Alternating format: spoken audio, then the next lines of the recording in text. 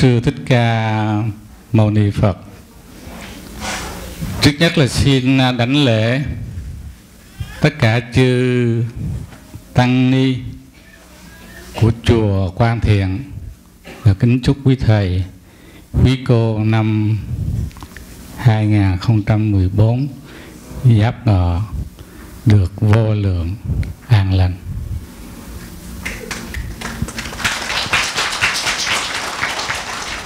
Xin đánh lễ tri ân và cầu nguyện cho tất cả chư thiện nam, tín nữ có mặt hôm nay và toàn thể gia đình của quý vị trong năm mới. Có được việc làm vững chắc, được không? Trong năm mới, thay vì tranh cãi chúng ta hòa giải với nhau trong gia đình, được không?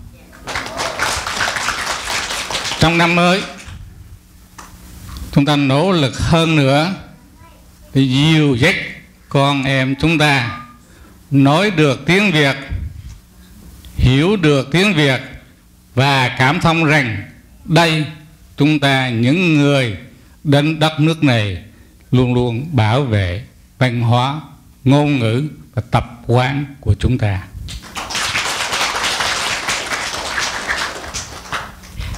Kính thưa chư thiện nam tín nữ ngôi chùa quan thiện được sự kết hợp của tất cả chư thiện nam tín nữ gần xa. Và điều hành ngôi chùa này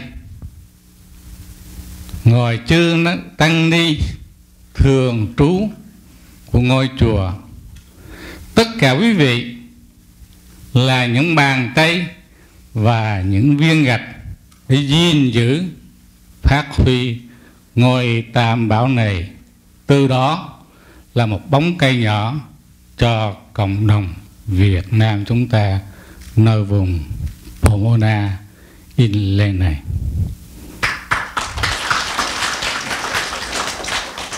Chúng tôi tri ân quý vị đã phát tâm đảm nhận những Phật sự trọng đại của ngôi chùa.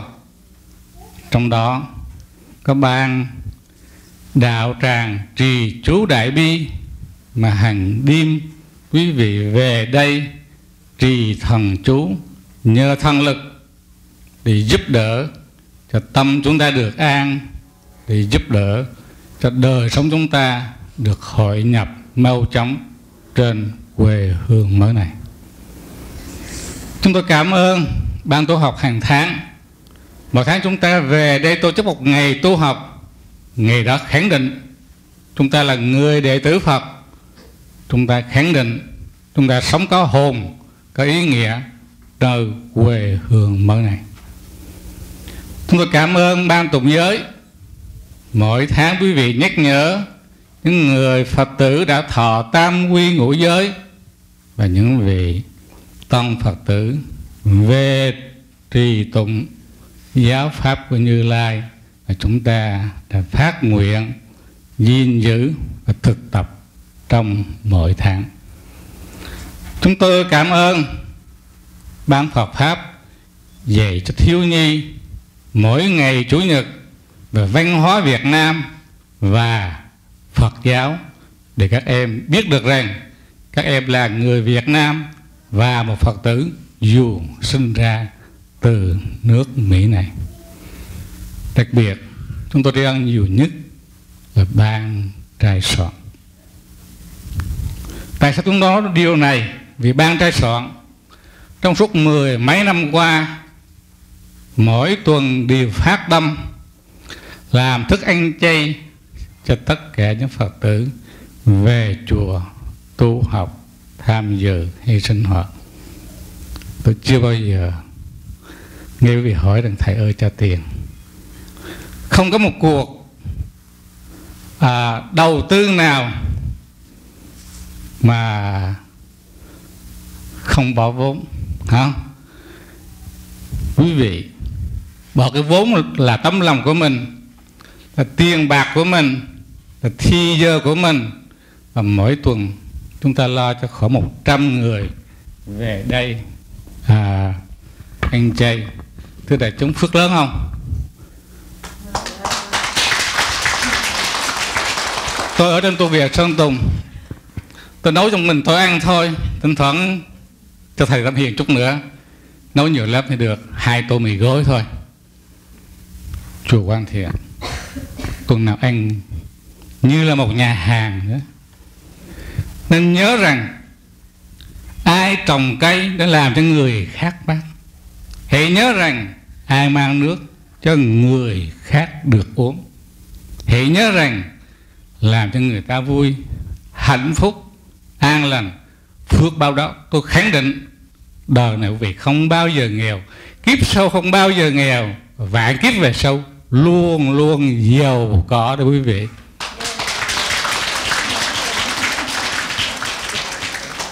Tôi xin cảm ơn ban hộ niệm.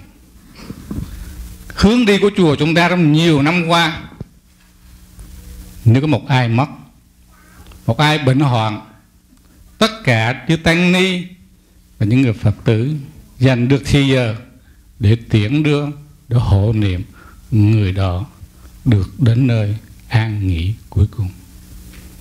Chúng tôi khẳng định chùa khẳng định rằng trong nỗi đau khổ lớn của đời người. Cái nỗi đau khổ lớn nhất đó sinh ly tử biệt. Nỗi đau khổ, một người chồng mất vợ, một người mẹ mất con, một người con mất cha. Chúng tôi làm tất cả những cái gì trong khả năng của mình để chia sẻ niềm đau lớn lao này. Và ban hộ niệm đã thực hiện điều này trong nhiều năm qua, từ lúc mới thành lập chùa chúng tôi có cảm ơn ba nghi lễ đóng góp những cái sinh hoạt của chùa. Sinh hoạt đó giúp cho người phật tử có cái duyên về chùa, học đánh chuông, học đánh mõ học làm chủ lễ, học hướng dẫn các thờ khóa. Và quý vị, thay thế chư tăng trong một cộng đồng Việt Nam ở xứ này thiếu tăng lữ rất là nhiều. Quý vị là phát nguyện là một sứ giả của Đức Thế Tôn. Từ đó, luôn luôn ban hình ảnh của Phật giáo đến với mọi người. Do đó, trong bảy cái ban này, cùng với chư tăng ni ở chùa, luôn luôn nỗ lực cùng học hỏi, cùng gìn giữ và cùng phát triển Phật giáo Việt Nam ở vùng đất này.